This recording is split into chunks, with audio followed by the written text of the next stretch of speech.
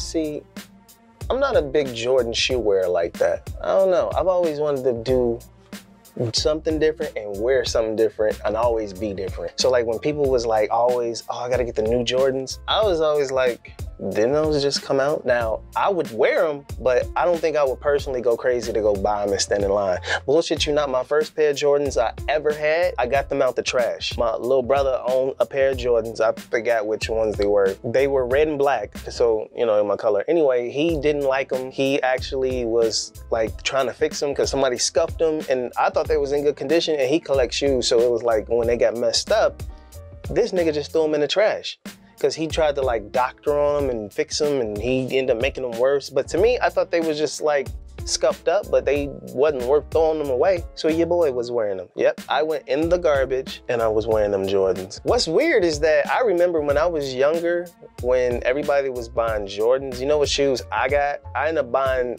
Dennis Rodmans because they had like this weird ass zipper on them or something like that. And I was like, yo, these are dope.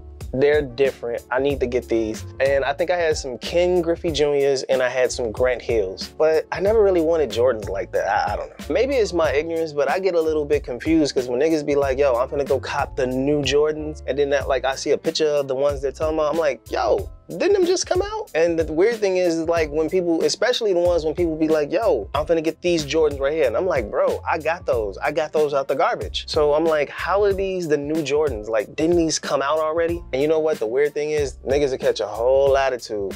And they be like, no, these are the new, new Jordans. And you'd be like, all right. And then they'll be like, the only thing that's different is like the color. Like it's like a little bit of a color variation. Like the part where you put a shoestring in, it's different. Oh, the tongue is different. It's a different color. It's a different stitching.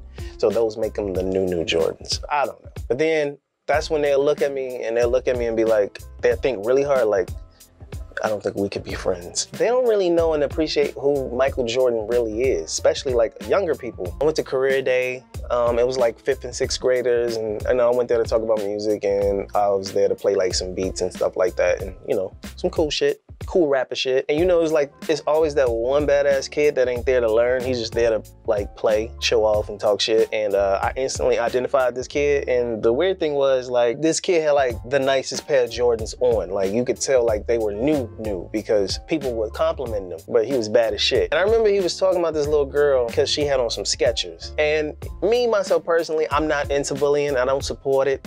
So I kind of chimed in and I'm like, yo, maybe she like it. Maybe because she really wants to be different. She don't want to, you know, that's why she bought them. She wants to stand out. She likes them. That's all that matters. And then I was like, my question to you is like, do you even know why you're wearing Jordans? Why do you, why are you wearing Jordans? His first answer, they cost a lot of money. I said, that's it? And then I got to thinking, I'm like, and I asked him, I said, do you even know who Michael Jordan is? I bullshit you not. Oh yeah, he's a shoe designer, duh.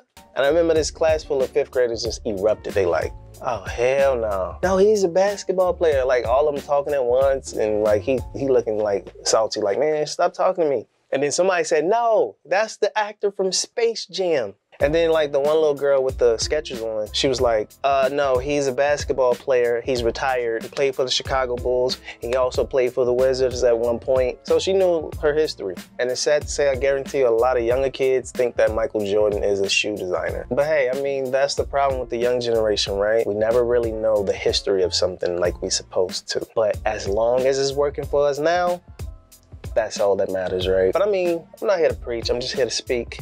You feel me? So whether you're wearing $10 shoes, $50 shoes, $250 shoes, it doesn't make you better than anybody. It's all about who you are, who you are on the inside, and how you're helping people and being the dopest person you can be. Whether you're wearing Jordans or Skechers. But hold on, wait. I ain't gonna lie though. Them Skechers is ugly than a mother. Them Skechers, Skechers are ugly as shit though. So I guess it always balances out because at the end of the day, when it's all said and done, I don't make dope ass music.